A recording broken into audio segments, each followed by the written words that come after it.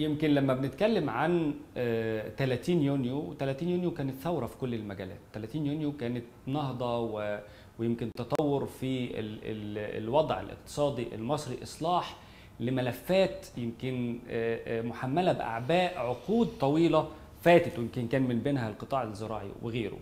آه، والبنك الزراعي المصري ما كانش بعيد عن اللي بيحصل في البلد ما كانش بعيد عن التطور اللي بيحصل في البلد. إزاي نقدر نشوف آه، آه، 30 يونيو في البنك الزراعي المصري.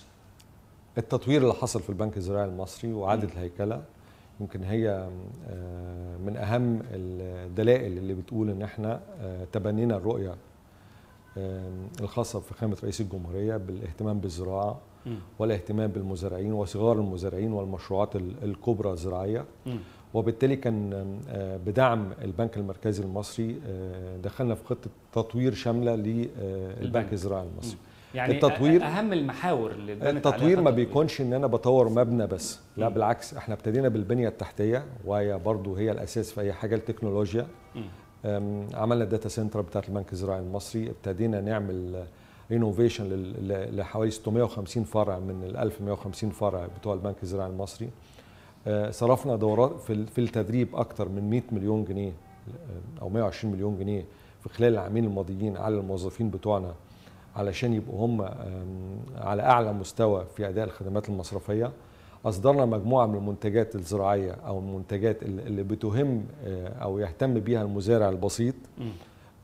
حركنا الفئات درسنا السوق ودرسنا الفئات التسليفية. وابتدينا نبص ب- ب- بصورة أوضح على احتياجات المواطن ال- ال- القروي المواطن ال- المزارع ال- البسيط اللي في الريف المصري. إيه اللي هو محتاج له فعليا؟ آه، فلقينا إن هو محتاج إن إحنا نحرك الفئات التسليفية علشان القروض الزراعية. إحنا ما حركناش مرة واحدة لا إحنا حركناها مع أكتر من ثلاث مرات على مدار ال- ال- العامين الماضيين. آه، تماشيا مع اسعار السوق في مدخلات الإنتاج وابتدينا نهتم جدا بزراعات تعاقدية عشان نأمن آه، مصدر دخل المزارع بتاعنا. آه، قعدنا هيكله الشركة الزراعيه آه، ال- ال- هي ملك تبع البنك. اللي تبع البنك الزراعي المصري اللي هي موكل ليها توزيع جزء كبير من الأسمدة آه، اللي خارج ال- ال- الزمام. آه، أعتقد كمان إن آه، مساهمتنا في مبادرات حياة كريمة وتواجدنا آه، كواحد من أكبر البنوك اللي ليها فروع على مستوى القرى المصري وبتمس أكثر من 60 مليون مواطن في في الريف المصري كان لازم مهم جدا إن إحنا نوفر لهم منتجات شمول مالي مم. تقدر توفي احتياجات ال- المزارع البسيط وما يحتاجش إن هو ينزل زي ما بيقولوا في في القرى في البندر أو إن هو ينزل للمركز وإن هو يقطع مسافات كبيرة. آه، يمكن معالي محافظ البنك المركزي دعمنا ب 1000 مكنة ATM فوصل عدد مكن ال ATM اللي موجود في قرى آه، في جميع قرى مصر النهارده لحوالي 1100 مكنة. بعد ما كان البنك الزراعي عنده 76 مكنة فقط لا غير مع إنه عنده انتشار كبير. آه، بس ما كانش فيه بتستخدم الإمكانيات. ده بقى في إنك أنت تتوسع. ما كانش فيه إمكانيات موجودة في البنك. الحمد لله البنك ال- ال- المركزي آم، مهتم جدا بالبنك الزراعي وتطوير البنك الزراعي. لو هنتكلم على التطوير آه،. لا آه، معلش هستأذنك. هناخد وقت صحيح. كبير قوي نتكلم يعني فيه. يعني يمكن واحد من أهم المحاور اللي اشتغل عليها البنك الزراعي هو دور دوره كبنك. في تنمية ال- ال- القطاع الزراعي بشكل مباشر. وقبل ما حضرتك تقول لنا البنك عمل إيه في تطوير القطاع الزراعي بشكل مباشر يعني بنشوف حضرتك بتنزل بنفسك في ال- المزارع بتنزل في نفسك تقابل الفلاحين ويمكن ال ال ال يعني المعروف عن المصرفي إنه قاعد في المكتب. فإحنا آه، بنشوف مصرفي النهارده بينزل وسط المزارعين ويقابلهم بشكل مكثف. ممكن نعرف ليه؟ لسببين. ال- ال- النشاط الزراعي لما نيجي نبص عليه عشان ال- البنوك تبتدي تموله يعني غالبا يبقى في بعض التخوف التخوف من ال- ال- الزراعة بسبب إن في بعض الأحداث اللي بتحصل زي التغيرات المناخيه مم. ممكن تأثر على الزراعة. بس هو ده صميم شغلنا. وزي ما أنت آه، اتكلمنا إن رؤية القيادة السياسية إن إحنا بنتكلم على ال- المستقبل. والمستقبل مش هيتحقق بالمزارع البسيط بس المستقبل هيت- هي- هيتحقق بإن أنا أنزل أقعد مع المزارع البسيط اقعد مع المستثمر الكبير. اقعد مع الشركات وتشوف ده احتياجه إيه آه، أقعد مع احتياجه المحافظين. أقعد مع اعضاء مجلس ال- ال- النواب.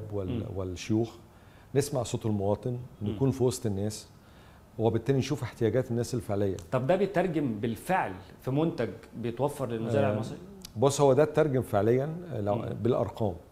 إحنا زودنا المحفظة بتاعتنا بتاعه ال ال الشركات وصلنا لاكثر من 7500 شركة.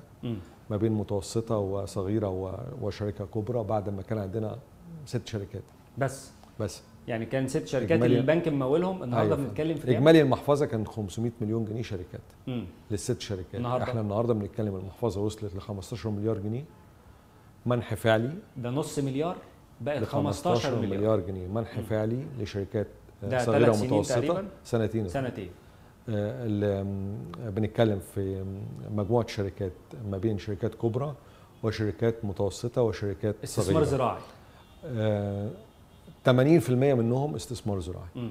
استثمار زراعي وحيواني ودجني وثروة سمكية. أم، إحنا كان عندنا الجرأه ان إحنا نعمل مجموعة من البروتوكولات على رأسها الريف المصري. على أم، آه، محافظة الوادي الجديد ونبتدي نمول الص- آه، مستقبل مصر. آه، الدلتا ابتدينا نشتغل في الدلتا الجديدة آه، من خلال الزراعة التعاقدية من خلال إن إحنا نبتدي نعمل البنية التحتية مع المستثمرين اللي عايزين يعملوا عمليات استزراع. إحنا بقى هنا بقى بنتكلم على المستثمر الكبير اللي هو بيتكلم في 1000 فدان و2000 و10000 فدان. بنعمل أبيار بنعمل البنية التحتية بنستورد لهم البروفيتات بن- بندي لهم تمويل لمدخلات الإنتاج. وبالتالي دول بيكون عليهم جزء كبير جدا من تنمية الاقتصاد و آه، ومساعدة البلد إن هي تستو... إن هي تصدر وبالتالي يجي لها عائد من الع- العملات الصعبة مم. آه، الحمد لله إحنا إحنا ضخينا في الوادي الجديد بس أكتر من مليار و600 مليون في الوادي الجديد بس مم. كلها في منها حوالي 600 مليون في آه، مشروعات وأفراد وأكتر وحوالي مليار مليار جنيه في مشاريع كبرى مم.